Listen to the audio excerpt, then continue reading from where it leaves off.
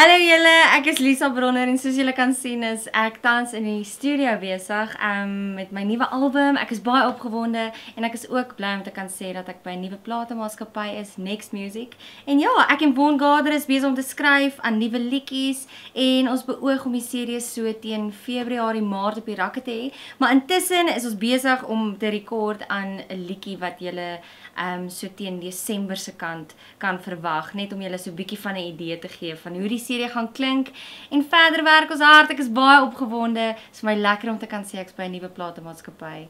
Kyk uit daarvoor.